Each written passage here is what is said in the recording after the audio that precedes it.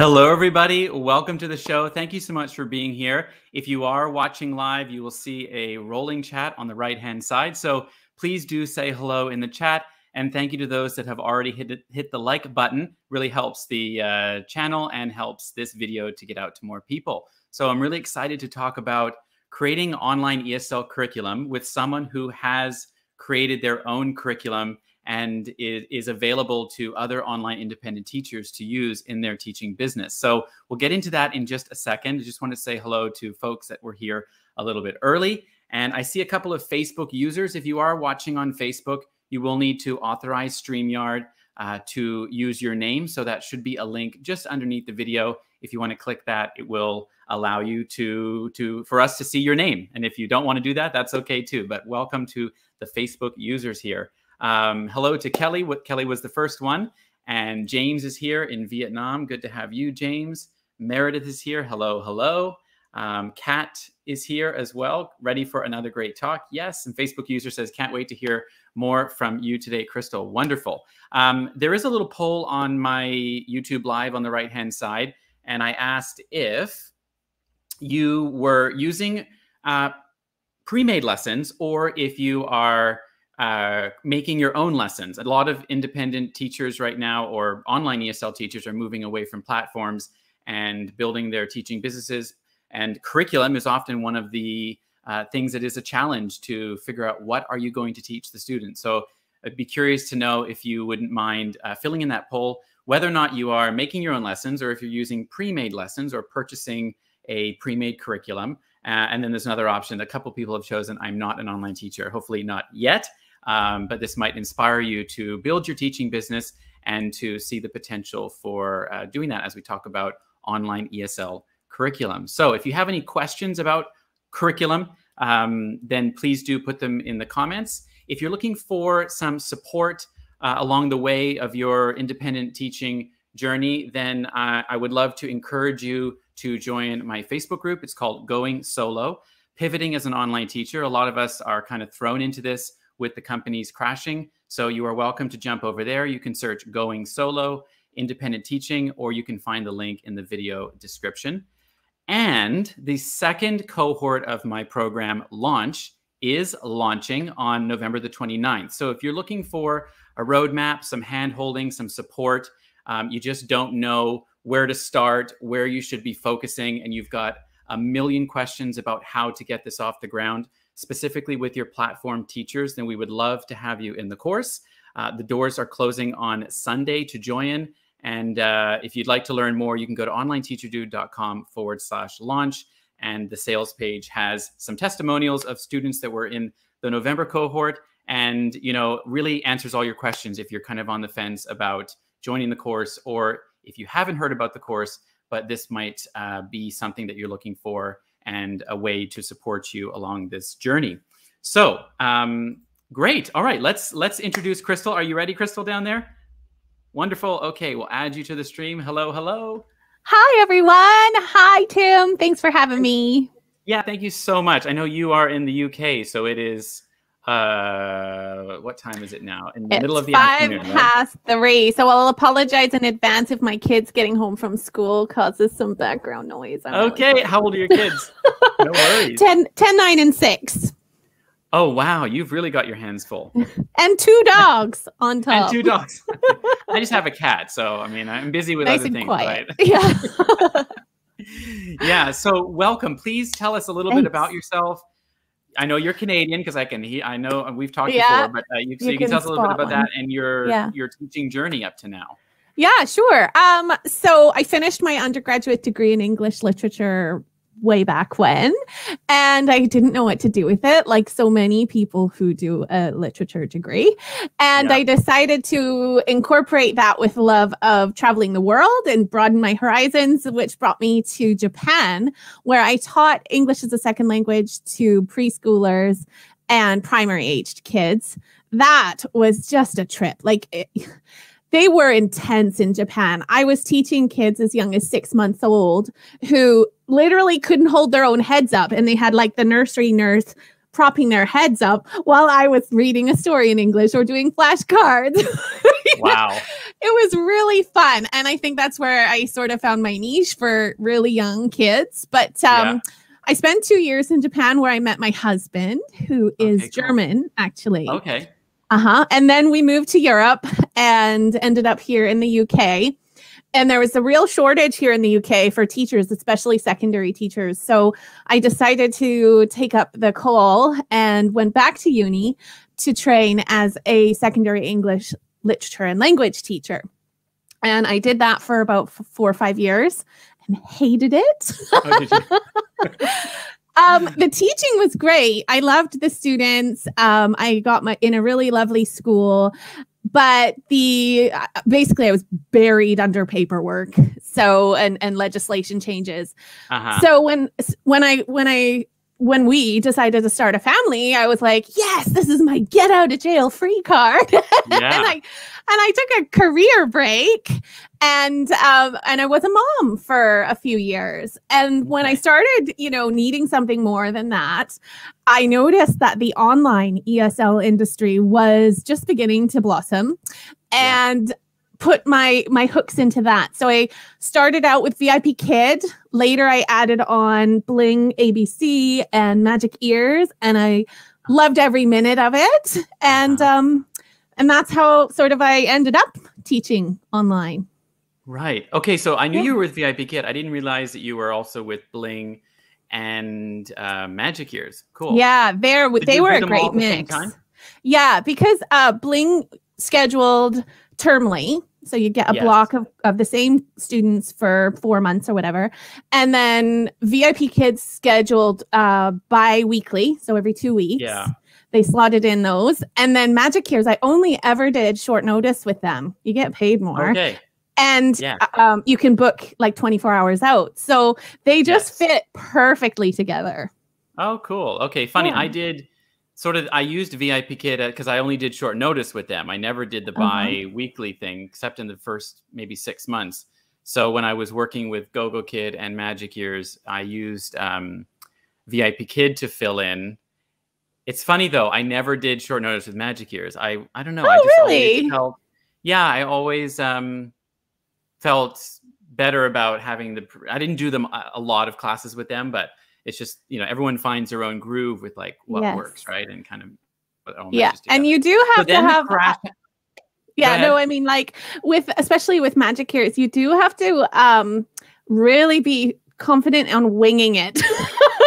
yes yes i sort Yeah. of felt like i needed to know a little bit further in advance vip kid i could literally uh wing it but with um with with magic ears i had to yeah it was a little Yeah. bit a little bit more preparation and and uh yeah just awareness of everything 'cause there Exactly, was, yeah. there was more more going on so then august happens and then were you still teaching esl online with companies in up until august like where are you in where were you at with that or how, Uh do you mean the China crash? yes yeah. yeah sorry Um, the China crash.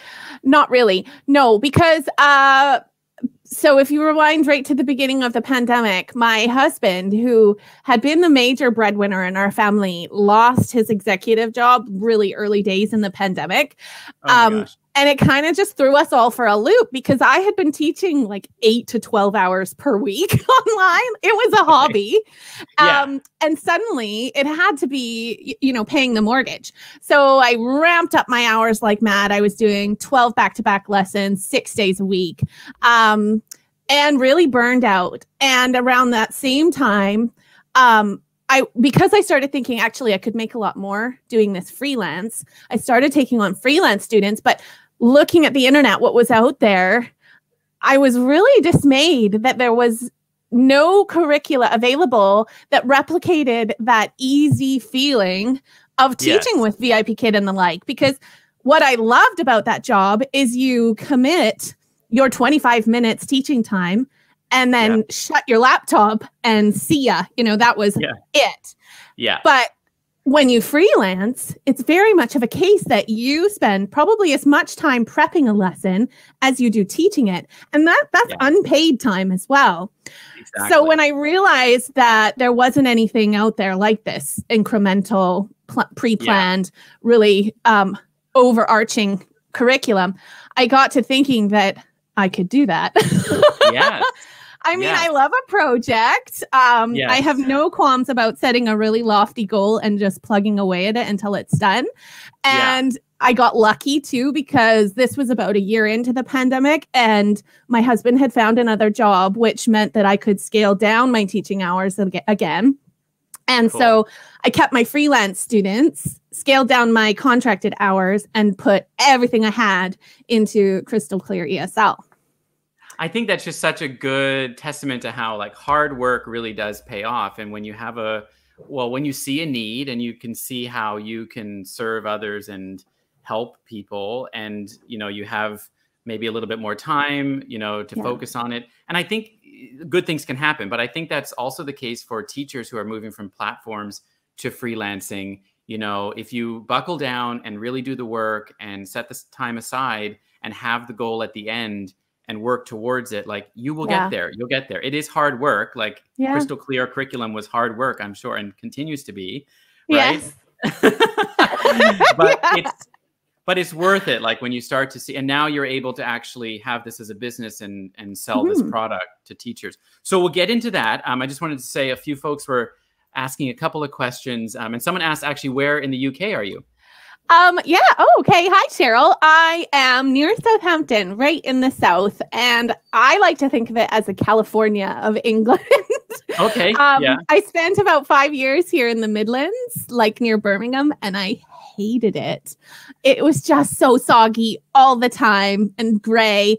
And um, I just, Southampton, I mean, it's still England, so there's still plenty of rain, but it is a lot sunnier and right near the beach, right near great hiking in the New Forest. It's amazing. oh wow Yeah. yeah cool awesome and uh Kimotso, I'm wondering if actually if you are Japanese, I'm in new to teaching, can't get any jobs. How do I go about that?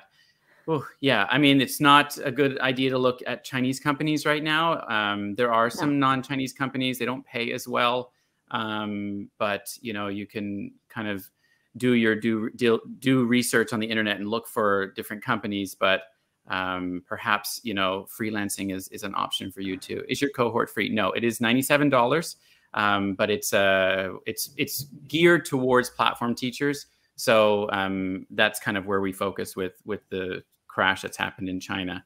Um, Japan was intense. Hello, Yeah. Crystal. Yeah. Hey from Taiwan. No, it is not Thailand. Yeah. So I I also saw Kelly asking about Wonders curriculum. So let's say, okay, let's kind of back up a bit.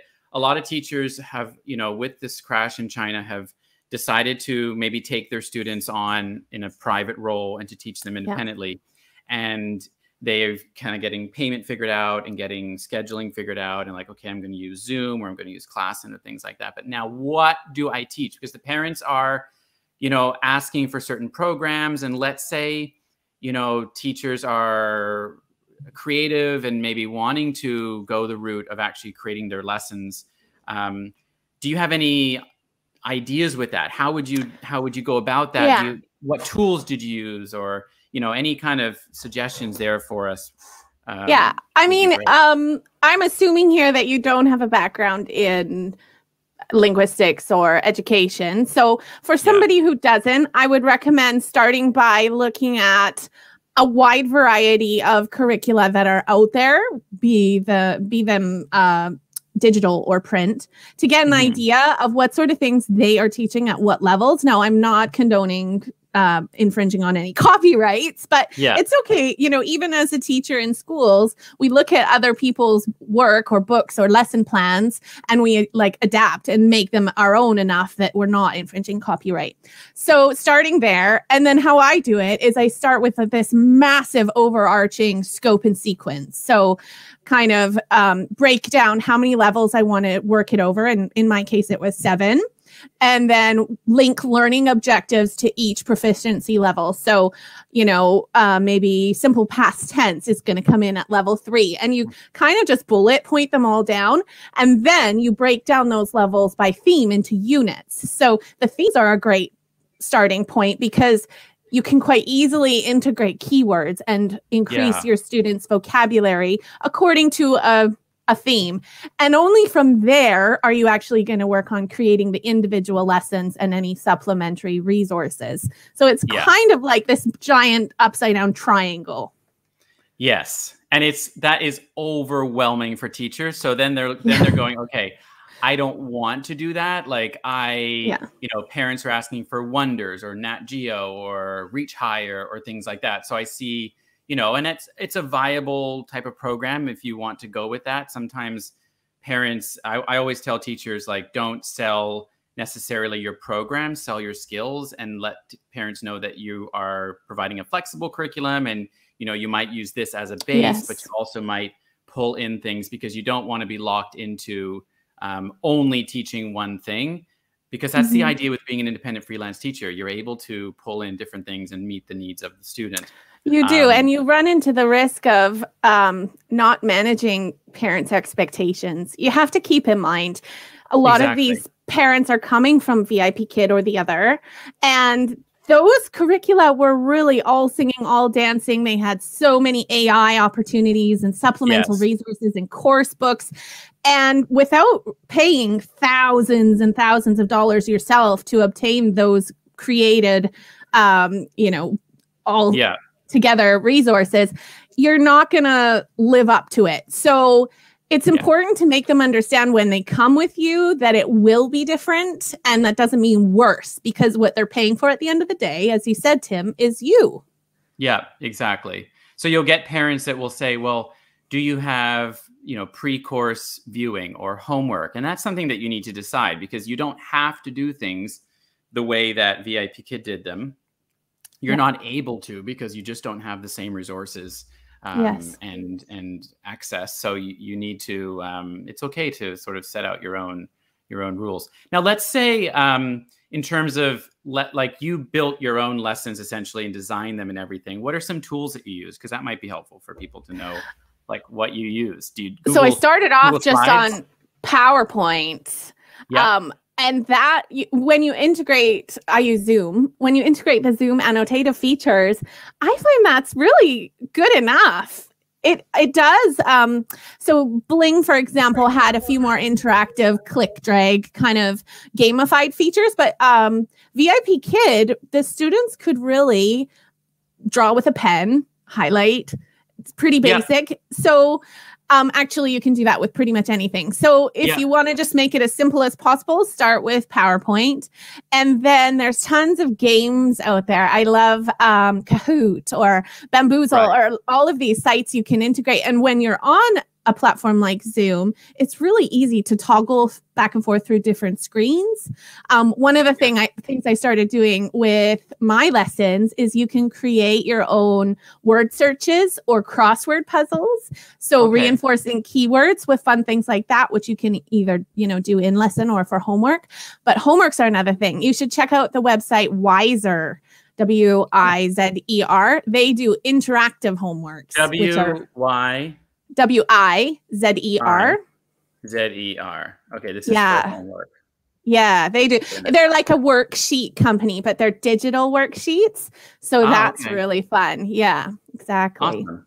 And yeah. when you were creating your lessons, did you because you know, I I suggest having a framework to make it easier. Like let's say you are taking a program like Reach Higher or something and you're making you're going to do ppt slides from that i think it's important to have because that's what vip kid did i mean they had a structure right there was like yes. opener there was a sort of a um, icebreaker question or something maybe and then there was like some vocabulary development and then there was some reading some comprehension some grammar and some thematic type things throughout so is that how, right. kind of how you frame things with yours very much. so triangle to the bottom at the yes yes. So i have to say in terms of the style i have taken a lot away from the three companies that i worked for previously.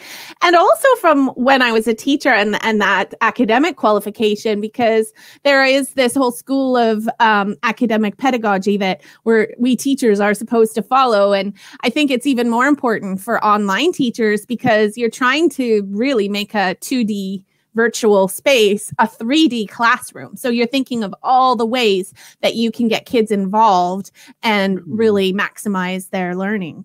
Yeah, so true. So yeah. then um there was a couple of questions. Let me just see here. I'm also waiting. People are folks are talking about companies. Um, so with um, with you, so tell us a little bit about how you kind of arrived at crystal clear and the process of go of what that has what's gone into that I know it's a lot of work.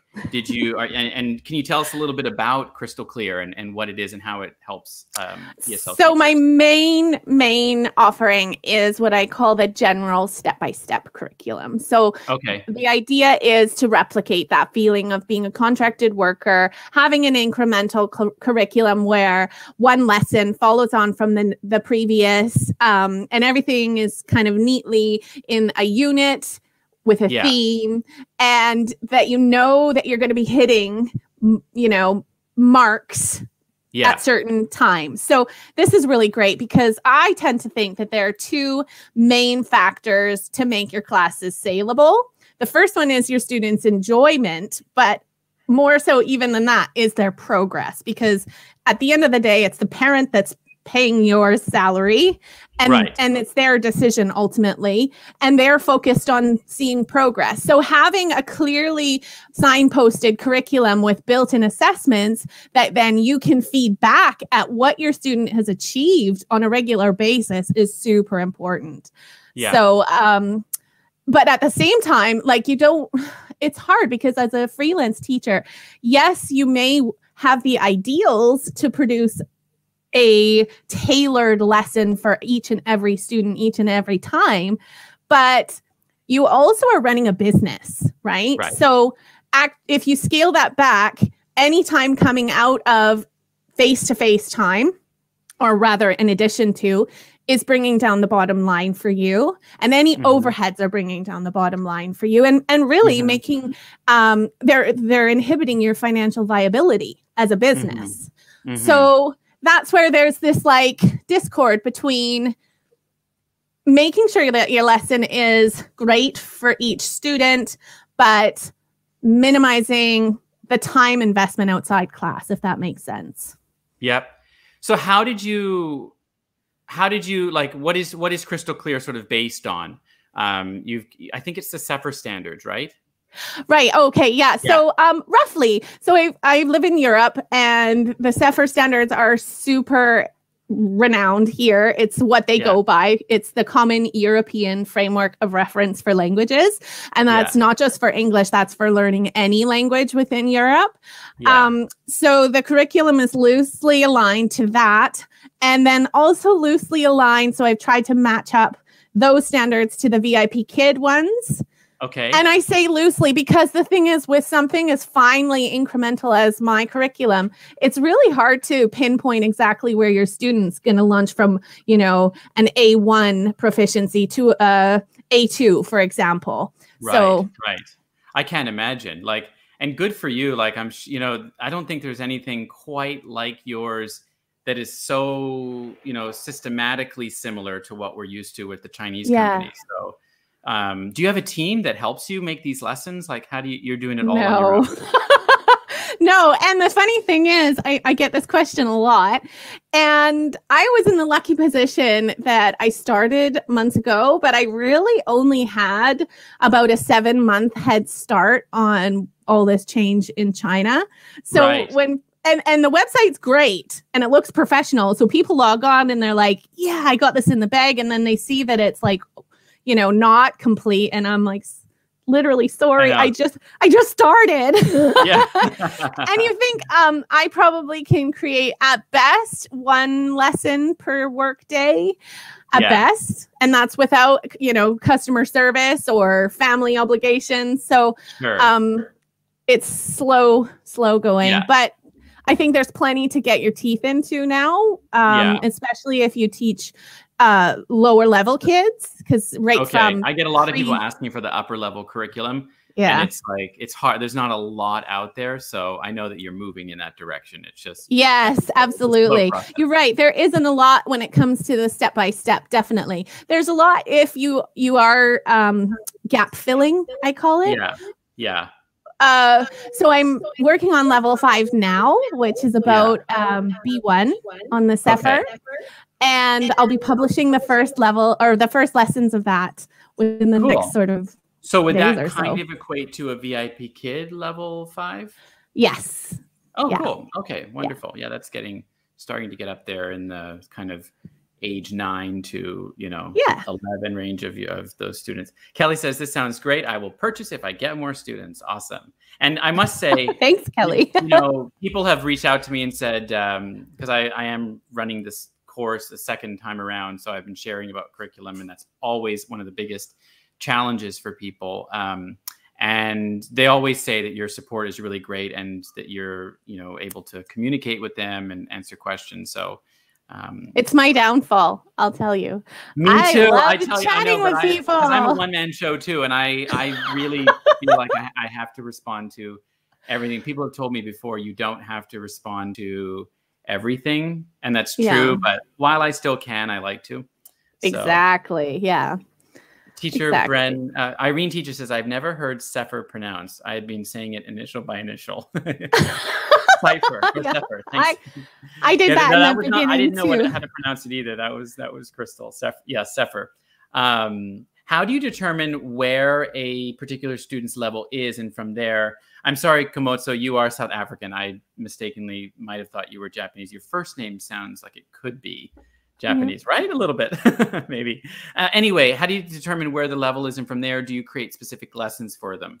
Yeah, so how, that's a challenge for Yeah. uh, teachers as well, determining their. Well, if you're using my curriculum, you use my diagnostic lesson and it's like Oh, tick, yeah. tick, tick. Oh, you slot right in here and it's all kind of Okay. done for you. So Very cool. Okay, that's really nice to know that not all not all curriculums um, that I've seen out there have that. So that's really really cool. But if Um, it's anybody else, uh, like if you're creating your own, for example, I would recommend visiting the Cambridge English website. Um, Okay. And they have free diagnostic tools you can use against their. Actually, it is the CEFR. So they link Oh, it to your, your result to the CEFR. And then you can easily Google um, the CEFR diagnostic rubric Hmm. and it is a little bit like a scope and sequence but it's um it's not like keywords or grammar it's the student can express this the student can converse about this um and then you can pinpoint using that uh big rubric what they'll need to learn next so that would be my yeah Good good tip. Thank you. Yeah. Two more questions. One, what are some of the tools or like online things you've used to create your lessons? Do you use like what free, you know, give us some like where do you get your images from? Do you design them? Do you get them from where? oh Yeah, tell this us all is this is difficult because I pretty exclusively use Pixabay, which is Okay. um, such a great resource, but it doesn't have everything. And just like a freelance teacher, um, Crystal Clear ESL is entirely self-funded. I like to Mhm. call it my shoestring startup. Uh-huh. Yeah. And um, so I know that you can contract on to more. I don't know. Do you pay for pro- Pixabay? no, you don't have No, to. It's all free. Yeah, Oh, you Pixabay is free. Yeah, sorry. There are some of them that are uh, are paid. do have some more premium images. Yeah, and I'm resisting at this point. I'm trying to make it work, but I do envision eventually. And the other thing that's lacking with Pixabay that I could probably pay for is where you get um not necessarily individually drawn, but you know, like caricatures and things that suit the dialogues that you're or Mhm. um, mascots or things like this. Um, Mhm. And I'm just, I just don't have the budget at this point for that sort of thing. But Pixabay's great. Um, also Pexels, uh, Giphy, but I- I'm not sure actually if Giphy is entirely copyright free or if they're just stealing the images from somebody else. I think they are, but I yeah, I wouldn't be able to say for sure. What about like Canva? Have you ever used Canva to design? oh lessons? my goodness. I haven't used it for lessons, but it is Okay. my favorite thing for, For everything else. of every Yeah. type. Yeah. Yeah, it's for sure. amazing. And the capabilities with the free version of Canva too. I'm like, girl, why are you giving Yeah. this away? I know there's a lot, but it does. It, I mean, they entice me to pay for it. I pay for too many things, but they entice me to pay for it because I get, you know, you get a little bit more. Like you get sort Yeah. of some of the things that, um, yeah, I do a lot of like the frames and the picture in the frame and things like that that I don't think are available on the free. oh, they're so, amazing. Yeah, Daniel said I thought she was saying Zephyr and wondered if I was way behind the times for not. Zephyr, yeah. And my last question is I know that Crystal Clear has big visions and has a lot more going on. What else is there? And I'm just going to put your um, your link here in the banner okay. there. Yeah, if folks are interested. Um, okay, yeah. I mean, this I know you're doing again, a payment portal as well. Yeah, so I have a payment portal up and running. Uh, it's only available in conjunction with a curriculum subscription. So it basically works as a way to get your students in China to prepay your whole subscription bundle. Gotcha. Um, so that's really easy and uh, all done for you. Cool. I, I just, you know, stemming away from teaching and contracted teaching and freelance teaching, this company has opened my eyes to how creative an entrepreneur can be. And my husband quite regularly has to steer me back on course because I'm like, what if we do this? Next, yeah. I want to do this. And so I really envision things like um, creating some print publications, the workbooks that the VIP Kid uh, students were used to, right. for example, that complement my curriculum someday. Um, a language school myself, maybe as an cool. offshoot to the company and hire other teachers. Yeah. Um, I don't, I just, and oh, so a big options, one. Right? Yeah, there are a big one that I've actually already started because I'm doing this with a, a course called IELTS Made Simple. Um, hmm. it's a 20 lesson course that I host for another developer. Because another thing that I noticed about the market is that it's there are quite a few um, sites out there where curriculum developers can sell their material, but not mm. everybody wants to sell. People might like that residual income of a subscription model, which I haven't found for curriculum mm. developers, but I can offer it. So I'd be particularly interested in people who wanted to have reading courses hosted or public speaking courses, you know, those really fine tuned, oh, cool. specific niche yeah, really courses. Niche. Yeah. Come and talk to me if you have something because I'd love to host your content. Great. You're an entrepreneur after my own heart. I love the way you think. um, let's see if there's any other comments or questions. Hi, Grace. Yes, Grace was in my program in November. Good to see you. Um, and people are arguing about over the Pix of A, Pixel Bay. Pixabay, yeah. And Zephyr instead of the Zephyr. Maybe I speak too quickly. Maybe it's the Canadian in you. Yeah, probably. It's, it's probably like the mismatch of Canadian English, British English, and then we also speak German in our house. So oh I just God. can't get it right. I have to tell you, like, I love a good Canadian accent, and you have like a good, solid Canadian accent. I could oh! pick it out anywhere. Yeah. Wow. Even after 15 years abroad, I can't shake it. Yeah, abroad, uh, or I don't know. It's just the way you say. There's a bit of British in that one, but okay. I'm Canadian, and I've got like everybody thinks I'm American. I was born in Bermuda, yeah. and then I my mom's Canadian, but I really didn't live there until I was 18 for about 10 oh. years before I moved over to Asia. And um, I always say I'm Canadian just because over here it's sort of like more identifiable for people than saying you're from Bermuda but right. I don't have a Canadian like uh, I, I, I hear it in your accent, loud and wow. clear, crystal clear. Yep, crystal clear. There's a reason for that. well, this has been great. Um, if you do have any questions, do drop them in um, about yes, material for adult beginners. Yeah, that's what she was talking about. I think so. Yeah. Yeah. Adult. Thank you so much, Crystal. And um, the links for Crystal's YouTube channel is also down below because tomorrow I'm going to be on her channel talking about diversifying your income as an ESL teacher, something that I love to talk about and have been doing myself for several years. So that's going to be really fun. So if you'd like to hear this conversation continue over on Crystal's YouTube channel, feel free to click that link, give her yes, a subscribe. Please. And uh, yeah, really appreciate your time, Crystal. Thank you so much. What are you oh, doing for the rest of the me. afternoon? Uh, taking my kids to swimming lessons. Okay.